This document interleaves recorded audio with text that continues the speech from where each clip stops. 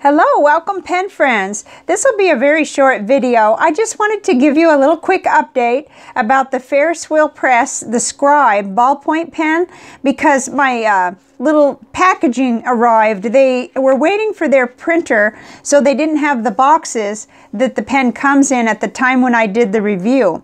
But this pen releases uh, March 22nd, 2021. So I wanted to give you a glimpse at what this looks like. It's actually a, a beautiful tin box with a nice little snap-on lid. Let's see if we can look at that little cover. It has a little uh, embossing there, and it's got raised gold uh, embossing or uh, printing on the out on the front here. Just really beautiful.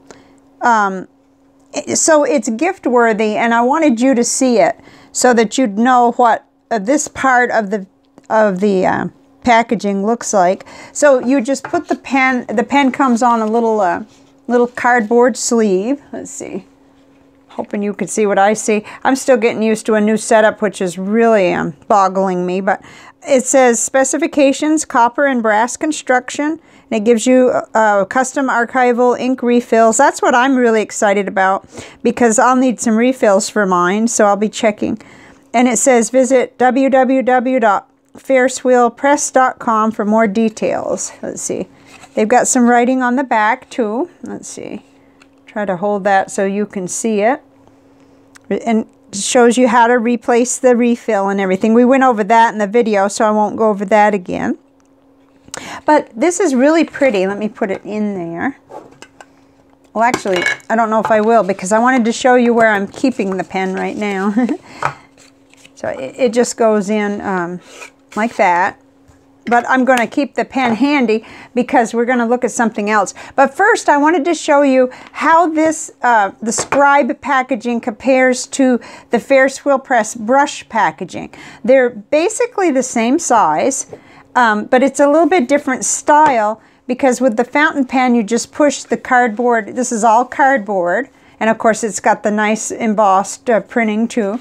And you, you pull it out. Of course, the, the fountain pen, I've got mine inked up right now. I was trying writer's blood in it because my broad nib was just so, so overpowering with that ink. Um, so this little so it's a different different thing. They've got the little velvet pouch in this case. Um, and, and there we go. I just thought you'd like a quick comparison. But let me show you where I'm actually found a home for this pen for right now. But the thing is, I keep going to fetch it. So I, I, I, wrote the check for the plumber. You know, we had all that problem going on here in Texas. And I discovered not very many pens fit on my little checkbook elastic. But it's such a nice pen too. And I like to use, definitely try to use the ballpoint when I'm writing um, not not just writing checks, but filling in what I have, have for expenses. But it's so funny because I'm afraid I'm going to lose the pen. I'm, I'm, using it in so many different places.